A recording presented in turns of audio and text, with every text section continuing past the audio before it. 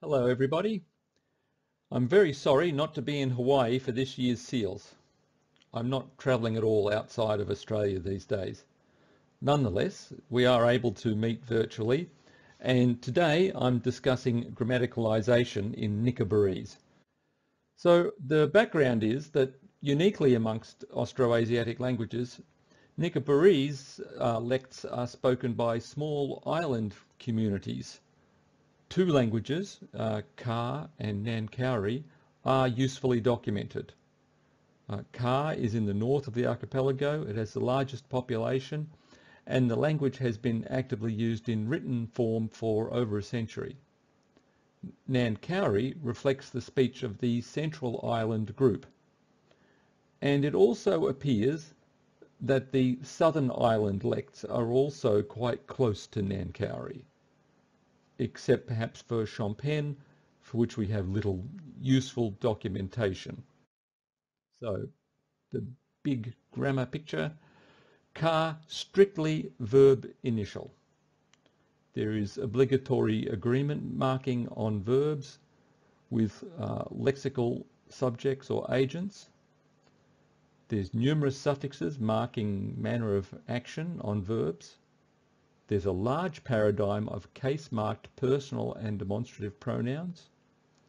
And there are two broad prepositions, one with a spatial temporal locus and another one with a general to towards benefactive type sense. And these prepositions do all the prepositional phrase work. Nancowry it's a, similar but different. It has pragmatically variable word order, but there is a preference for verb initial. Um, there is no agreement marking on verbs, but there is a kind of ergative marking for animate arguments. This is something very different to Car. There are numerous suffixes marking manner of action on verbs. The pronoun paradigm, it resembles a conservative Austroasiatic type. So it doesn't have all the kind of case-marked forms that Car has. And Nancowry has more prepositions, although what exactly counts as a preposition, mm, debatable. Now, both languages have a very weak noun-verb distinction. In fact, I would say there's just one open class that can take uh, the verb position or a noun position. Um, and this is common to both languages. Now, the etymology problem, thing which really concerns me, is that it's very difficult to reconstruct the Proto Nicobarese lexicon beyond a couple of hundred roots. There's been a lot of word loss through taboo replacement and a lot of new lexicon generated from the existing roots by multiple layers of affixation. Have a quick look at the uh, seven examples here from Nancowry of derived forms from the Austroasiatic root goin, meaning a male or husband. Now, very usefully, Radhakrishnan, about 50 years ago, internally reconstructed the Nancowry lexicon, pulling apart all these uh, affixes and stems for many hundreds of words, um, although he did it without wider reference to Austroasiatic, so um, that work uh, can be improved. Um, unfortunately, no similar study for Car has been done, but Car word formation follows similarly to Nancowry, so we have quite a head start here. Now I've put up a table here. Um, this is just a selection of comparative Nancowry and Car uh, grammatical morphemes which appear to be cognate. Um, in fact, the fuller list I could give you is four times as long. Um, but as you can see, just looking at this list, many grammatical morphemes have evident Austroasiatic origins. Uh, and some we have no idea, some of them we have some speculative ideas. we're going to run through four today, which you see highlighted here. There's two um, uh, affixes and uh, two uh, preposition type uh, forms. Uh, and we're going to run through them now. And ultimately, um, I want to present a, a, kind of working paper where I present the more complete list um, so this can be discussed and we can get some, some feedback on this, but we'll just look at four examples today to give you a, a teaser of what, what's going on. So the first one I've, you can see here is this uh, possessive u suffix. Both languages, uh, possession is typically marked just by concatenating the possessed and the possessor with no special morphology, um, except for pronouns in Car. However, nouns denoting possessed things can be derived from nouns and verbs with the u suffix, uh, which also has some uh, allophony in, in Car, which is given there. Um, I have some sentence examples for Car. Unfortunately, I don't have any sentence examples for Nancowry given the limitations of the literature, but let's just quickly go through them. So in the two examples we have um, I have something to request. You see the request has the u suffix on it, and now it means something possessed. Uh, in the next sentence, don't you have anything to cook? The cook verb has the u suffix, and now it becomes something to cook.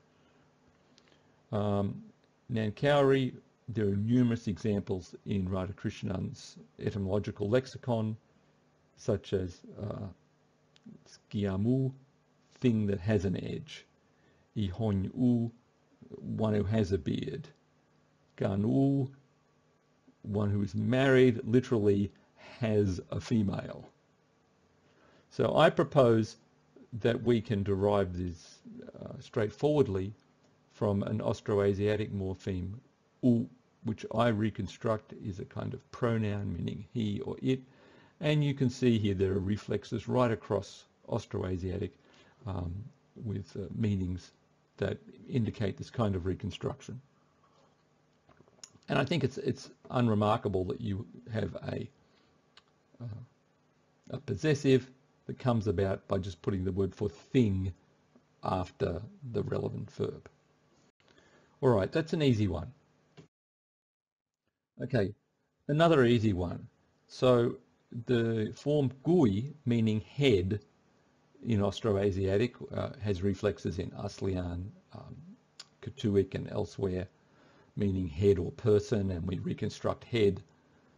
Um, it's the regular word for head in Car and in Nancowry, but also has grammatical meanings. Uh, the first example there, we just see um, word maker threw dirt on her head no problem. The other two, we see GUI used as some kind of adverb or arguably a preposition, but I would say it's some sort of adverbial. Um, I dare you to jump across this well, so it's literally dare you I you jump head that water. So here head means something like over, above, across. A fairly normal kind of grammaticalization. The next one, go and get my to- go and get my comb on the table. Literally, go comb my you towards head of table.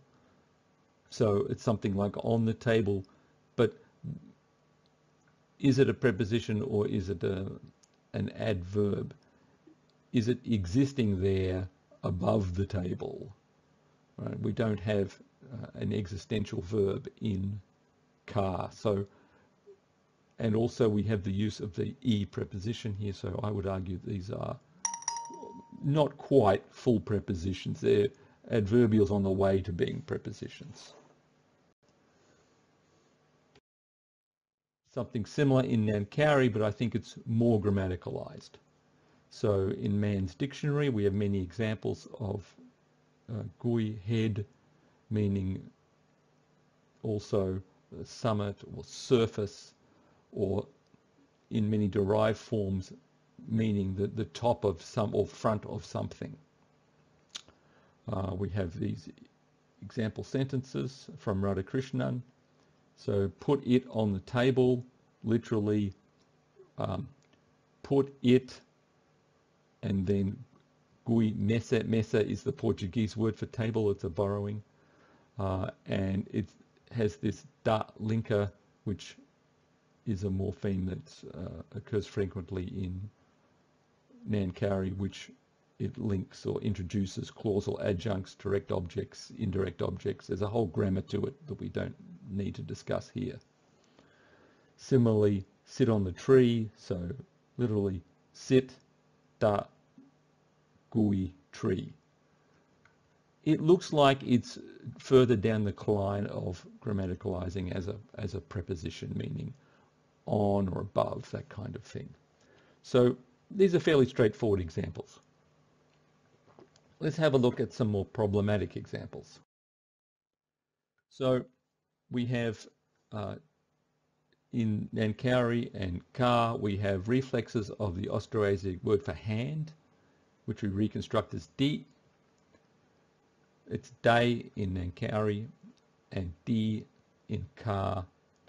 And they're both regular words for hand in those languages, but they also have grammatical meanings. So from Raja Singh, how many children do you have? Literally, interrogative, children, hand, you, marked as human subject. This is this ergative thing I was alluding to earlier. So how do we how do we translate this? The the glossing is with or instrumental in Raja Singh, um, and I think that's that's fair enough. Uh, Radhakrishnan, we have an example. Uh, it is good to write with, literally, good hand subordinating particle right. Again, if we translate it as with, it makes sense. In the next one, uh, he was beaten by you. So past beat, he, hand, you.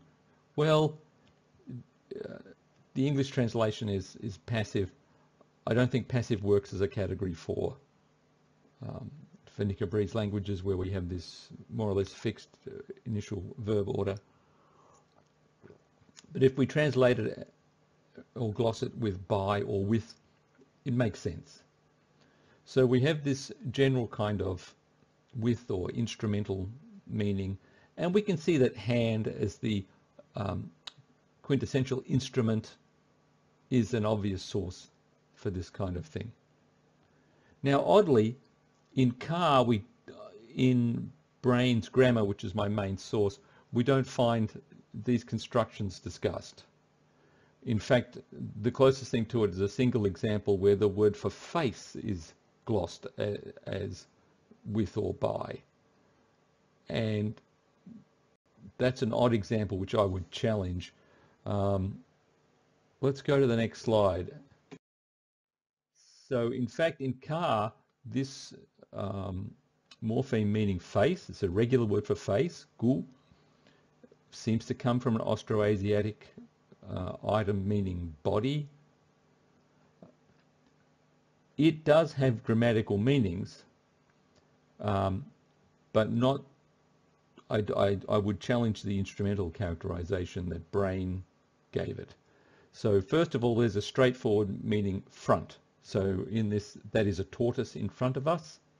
So literally, tortoise, that, locative, face, us, right? So front or facing, this is a regular kind of grammaticalization for face. But now here's the really interesting thing. In the next four examples from uh, Car, we have face. It looks like some kind of evidential. Um, Braine doesn't call it an evidential, she calls it something like uh, appearance or to appear. But I think actually it's an evidential. So let's have a look. Uh, the fear is apparent, and then we see the word fear has face uh, suffixed to it and joined with the little um, nominalizing infix there. They found that the fruit was tasty. Again, find, this is the verb, and it has face suffixed to it. I already ate just now. Already, which is the word in the verb position in this sentence, again has the face, gu, suffix to it. And in the last one, when you're going to want this book, and want, it has face suffix to it. All of these, I think what pulls them together is that it's an evidential. We, uh, the person is asserting or questioning the reality of the event and you, you know something is true because you can see it in front of you, before your face. Uh, so that, that's my hypothesis with, with this uh, morpheme in, in car. Okay, running along. Now, in Nancowry, the word for face is different. It's jat. And jat turns up in different grammatical meanings. In Radhakrishnan, it's glossed as a dative in several sentences. So we have he gives food to the pig. So we have that not, that to the pig. He gives pork to me. The last two morphemes, ja, jo, to me. So what what's going on here? It looks like the face morpheme is being used to mark a dative. And then we have a really odd one, this Geyit Cha Fuang, go through the door where Cha is glossed as through. I, I can't quite get my head around whether we can derive all these from face if they really are all the same morpheme. But I suspect we may be able to, via some kind of directional or presentational sense, uh, proceeding from uh, a thing being in front of you, then, then to a thing moving to you or past you, and then so forth. Um, any form of feedback on that I'd be really appreciative of. All right. And then the last one, I've only got a minute left. Let's run through this quickly. Um, both languages have a suffix ni, which corresponds to their lexical word ni, meaning house. And that's a good eh, um, Austroasiatic word. And in this case, it means outward. So we have examples like the car, these flowers are blossoming forth, or I'm going straight out to the seashore where the ni is suffixed to the verb. In Nancowry, similarly, I see through the window, or I had gone out to Munak. Uh, in each case, ni is suffixed to the verb and it means outward or southward. Um, and the southward means the same thing on the island. So that's what we're looking at. And I just wonder how we, we, we might get outward from house.